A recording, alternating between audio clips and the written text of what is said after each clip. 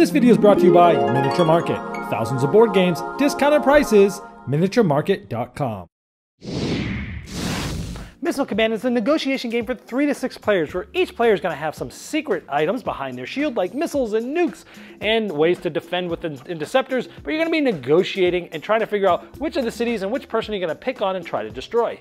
During a three minute time negotiation each round, you're making non-binding negotiations with other players, but everyone is seeing what you're buying in pure light, so they can see whether you're lying or not or what your tendencies are. You can also sell all sorts of missiles and nukes to other players during this round. After negotiation, everyone is planning as to who they're hitting and which city they want to hit. Once all players reveal, we see which cities of who are being destroyed, and destroyed cities will get you powerful abilities that you can use throughout the game.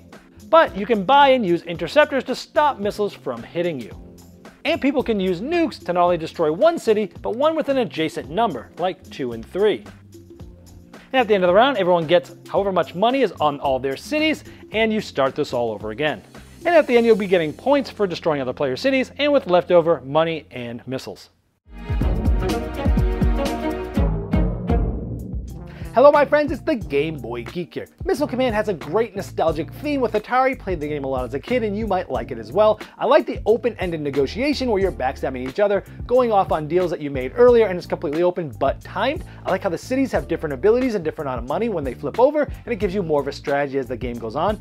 I like how you can threaten with the nukes to make sure that you keep people in check, but you can also build up a defense to deter everybody. I like that the game has a good arc to it. However, on the bad side, uh, the games can sometimes go off the rails with different groups and the, the, the, the dynamics of them. Uh, this game is very mean, so it might be too mean for others, and I felt it outstayed its welcome just a little bit, where towards the end people are trying to wring out as many points, and it could go a little bit too many rounds for what the game is.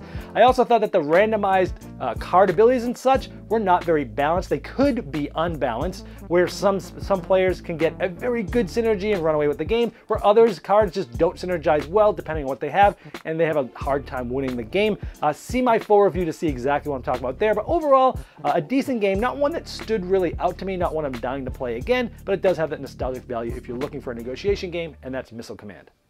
This video was sponsored by Miniature Market's Review Corner. The Review Corner features podcasts, video, and written game reviews by gamers for gamers.